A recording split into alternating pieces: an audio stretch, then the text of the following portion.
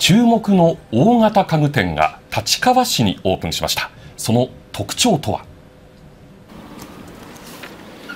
立川駅から北に1キロの場所にオープンした IKEA 立川。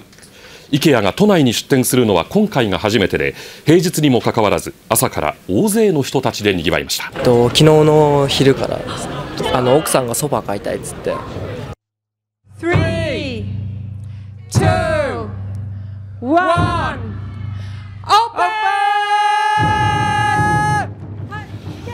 IKEA はスウェーデンの大手家具店でショールームで欲しい商品の番号を控えストックスペースから商品を運び出すセルフサービス製の販売方法が特徴です。IKEA 立川は国内7つの店舗の中では2番目に広い4万平方メートル。スタッフが事前に立川市内の住宅を訪問調査した結果収納が大きなテーマになりうるとして収納関連スペースを既存店舗の2倍にまで広げました。東京に出店を求める声が多く待望の都内第1号店となりました。広くて充実してて楽しかったです。子供も来やすい場所っていうかなのでありがたいですね。子育て中なので。